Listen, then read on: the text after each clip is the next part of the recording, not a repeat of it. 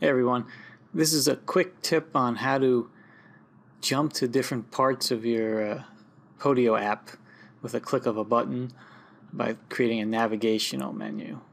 Uh, first I want to show you how it works. So I have this app that has fairly long, has probably 25 fields and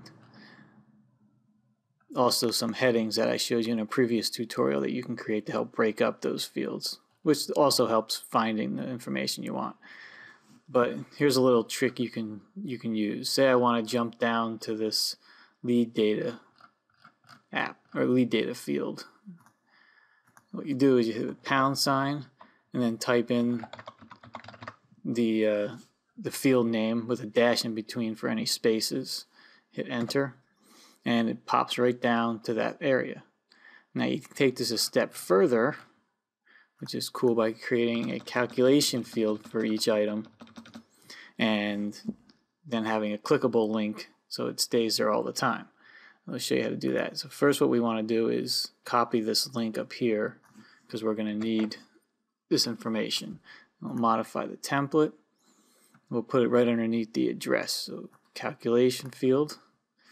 We'll say var text equals lead data.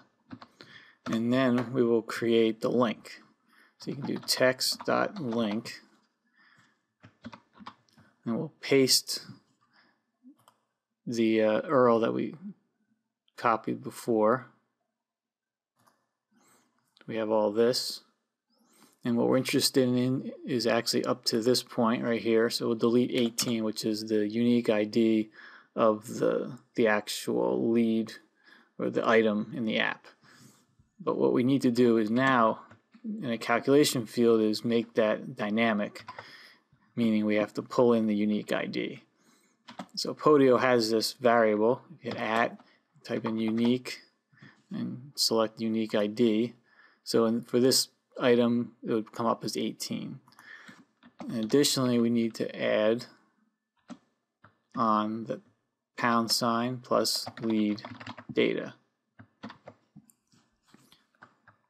Close that off right there. And now this is an example of what you'll get. This is the text, so we do done. Pop over here now the calculation field. Now here's the link for lead data. Click on it. Pops right down to the lead data. What I like to do is create a, uh, a navigational link for each different section that I have. So I can quickly just say, oh, I want some lead data, come into the lead, click here, and pops down to that section. It makes it so much easier to navigate to where you want to be.